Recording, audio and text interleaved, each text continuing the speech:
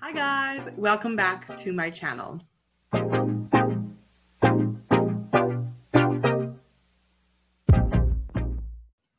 If you're new here, my name is Emily. I am a nutritionist and medical herbalist and the founder of Pohutukawa Health.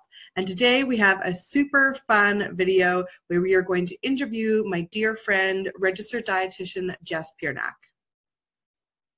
So, in my clinical practice, when I see clients one on one, I see a lot of people with gut issues. So, digestive problems, bloating, gas, bowel issues, um, irritable bowel syndrome. And one of the other major things that I see quite a bit is people who have been newly diagnosed with celiac disease.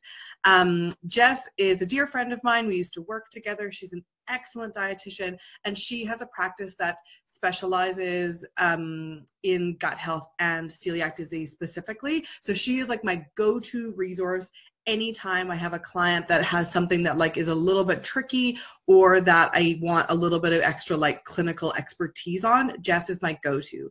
So she's going to join us in a second here, and I'm just going to get her to tell you uh, a little bit about herself, what a dietitian is, and then we're to go into some questions about celiac disease and gut health.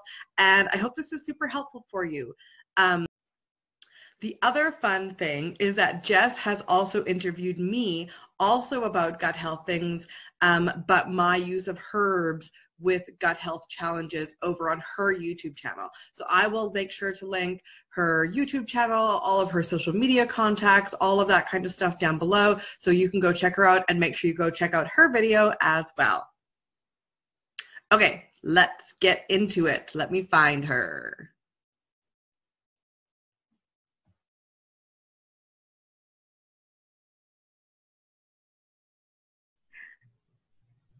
Hi, everyone. So I'm Jess, and thank you, Emily, for having me. So I'll just tell you a little bit about myself. So I'm a registered dietitian as well as actually a wellness coach. So, what is a dietitian? So, a dietitian is somebody who's university trained in nutrition. So, everyone is kind of a nutritionist. Honestly, you could take a weekend course, you could take a year long course, you could be a personal trainer who's done, you know, an hour long workshop on nutrition. They're all nutritionists. So that registered dietitian term is just more regulated by a college. So, which means we are handcuffed for a lot of different things, but which is always good and bad. So, yes, I'm a registered dietitian. Um, basically, my practice focus is in gut health and celiac disease.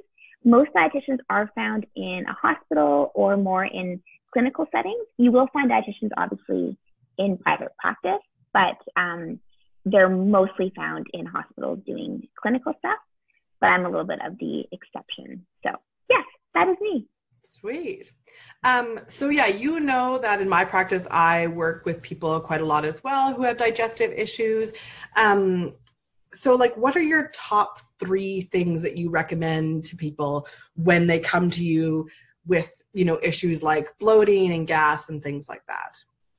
That's such a good question. So I would say there's like three solid things that I'm constantly sort of trying to get everyone to do. And one of them would be like start a good probiotic. And that sounds like a oxymoron because there's so many probiotics out there and how do you choose the right one? So there's this amazing site called probioticchart.ca and basically it's a third party site that's kind of gone out there and done the grunt work for you. So they've really just figured out which probiotics have research to back them, um, you know, animal studies versus human trials, and even like longitudinal. So, like, is this probiotic going to work for a week or is it going to work for a couple of months? So, definitely go onto that website, figure out which probiotic you want to take, but definitely start a probiotic. The website itself is not user friendly, but it gets the job done. So, definitely check that out. Yeah, it is.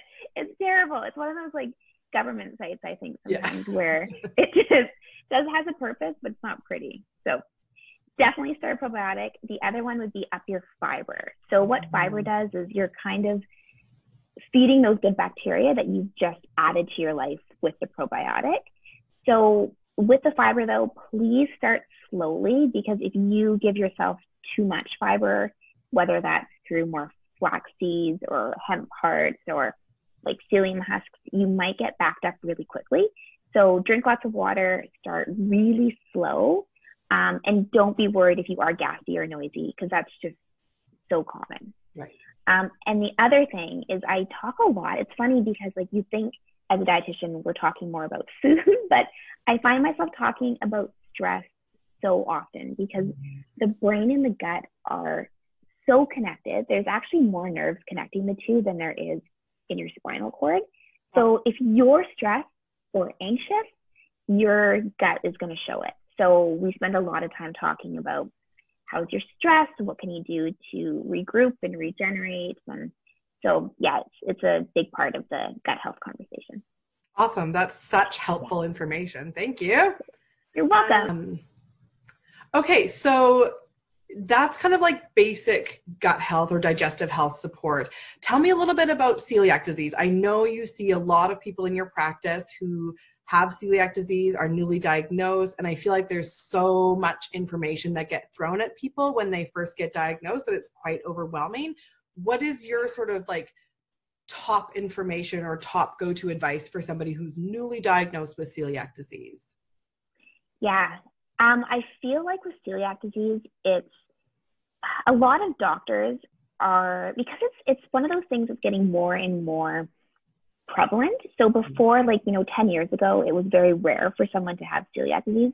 When I say rare, I don't mean I think a lot of people had it, but it was just undiagnosed.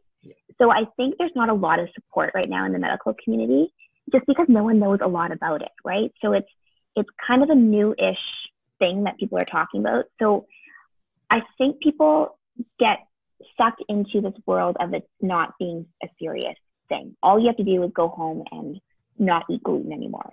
But it's way more complicated than that. And what I need to make sure everyone understands is that you do need to follow a strict gluten free diet because it is an autoimmune disease where gluten is going to cause damage to the small intestines and like specifically the the villi, the finger like projections.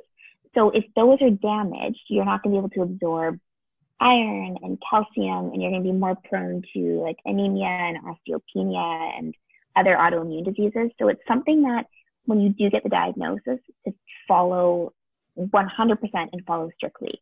Even if someone says to you, "Oh no, no, come over to my house and I'll make you something," like it's it's it's an awkward thing to have to navigate those conversations, but it's really important that you take this seriously despite what anybody anybody says.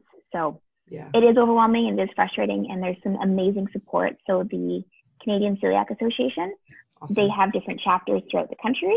Um, there's a national board of directors as well. If you're looking for support, I would 100% head over there and meet them because they go for dinner together. They have support group meetings. Like it's really lovely. So awesome. definitely get your support.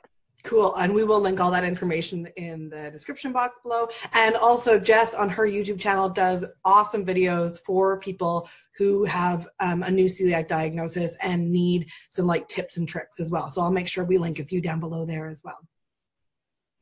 Excuse me. Thank you, Emily.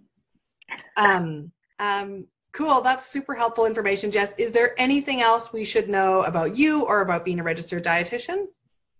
Yeah, so if you could do us a favor, so basically, um, dietitians are not covered under MSP. I wish they were, because um, then everybody would have access to a dietitian, which I think would be helpful for the world. Um, but in the meantime, let's get us on extended health benefits. So check out your benefits, see if you have a dietitian on there. If you don't, give your benefits company a call and just say, hey, a dietitian should be on here. And then hopefully one day we'll be like naturopath and massage therapist where we'll be on everyone's extended health benefits. Yeah. Wouldn't that be amazing? I know. I know. Or for free would be nice too. Yeah, exactly. Yeah. Cool. That's great. Cool. Thanks so much. Well, um, that's it. I'll just wrap this up. Perfect. Okay, guys, that is it for today. I hope you enjoyed that. I hope you got something out of it. Um, if you like this video, please give it a thumbs up. And if you want more content on natural medicine, herbal medicine, ways to support your health uh, naturally, I have a series called Backyard Medicine as well, which I talk about plants that are really easy to access for basically everyone, no matter where you live. Um, please feel free to check that out as well. I would love to have you along. Have a great day, and I will see you next time. Bye.